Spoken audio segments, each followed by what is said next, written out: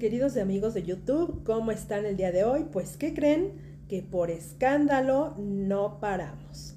Wendy Guevara nos contó lo que en realidad pasó con Brian, este chico que estaba rentando ahí en la casa de Doña Fabi.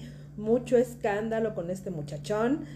Yo he visto las redes sociales y Brian como que no es muy bien visto porque dicen que es mala paga, dicen que nada más utiliza los cuartos para bañarse y se va no sabemos la realidad, pero Wendy por ahí tiene un audio que le mandó su mamá y Wendy está muy molesta.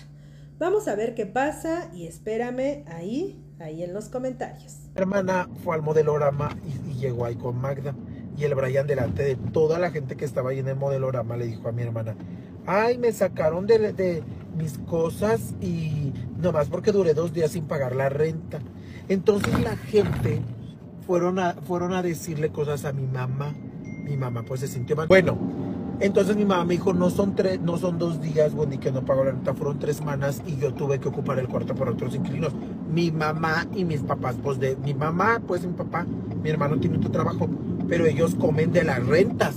Claro, obvio. Entonces, ¿saben que Pues mi mamá dijo, yo todavía le quité el sofá cama a la otra persona y todo. ¿Y qué crees que el Brian me dijo? Bueno, se fue para la otra casa a, rentar otros cuartos de la misma, otra casa de mis papás, pues de mis allá.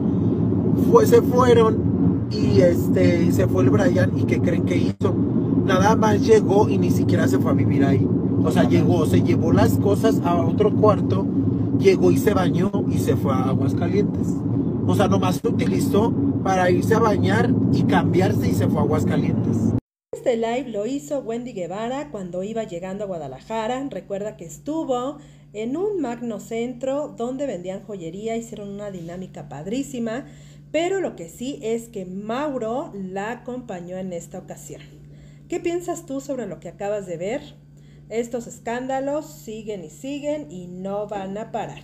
¿Te cae muy bien Brian? ¿Te cae mal? Déjame ahí tu comentario y como siempre, dale like, suscríbete, date la oportunidad de conocer este canal y vamos a ver en qué para esto, porque yo revisé el TikTok y dijo este chico Brian que no es cierto, que él jamás hizo eso. De hecho, también, ¿qué creen? Pues le estaban diciendo que pues debería de hacer un en vivo aclarándolo. ¿Qué piensas tú?